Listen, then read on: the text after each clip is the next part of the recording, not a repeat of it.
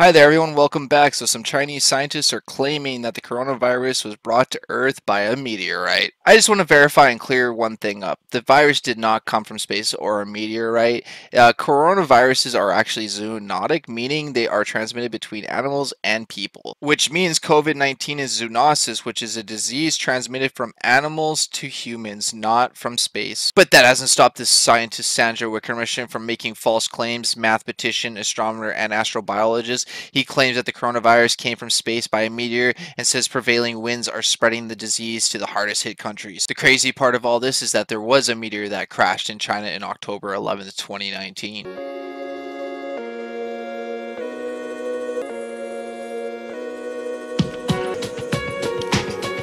So there was in fact a meteor over China and it has not been found.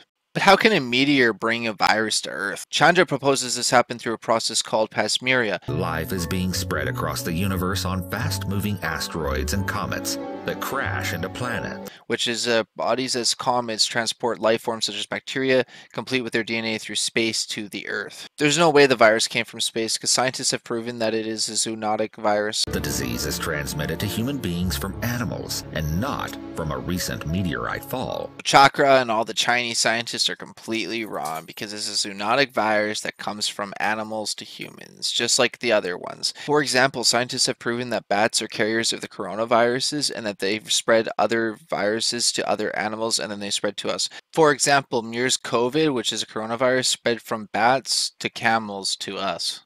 SARS-CoV was believed to come from bats that were transmitted to civet, cats, then to humans. Scientists aren't sure, but the coronavirus might have came from a bat to a pangolin or a completely different animal because coronaviruses are zoonotic. But nope, the coronavirus didn't come from space or a meteorite. And also the reason why that the coronavirus didn't come from space or a meteorite is coronaviruses can only last on surfaces for so long. Example, metal, five days, glass, five days. Ceramics, five days. Paper, up to five days. Wood, four days. Plastics, two to three days. Stainless steel, two to three days. Cardboard, one day. Aluminum, two to eight hours. Copper, four hours. Food or water doesn't seem to spread through food or water easily or not, hasn't been found in water. So that means that for a virus to spread through time and space and the universe and everything and survive the atmosphere and everything, not going to happen. Plus, the coronavirus is zoonotic.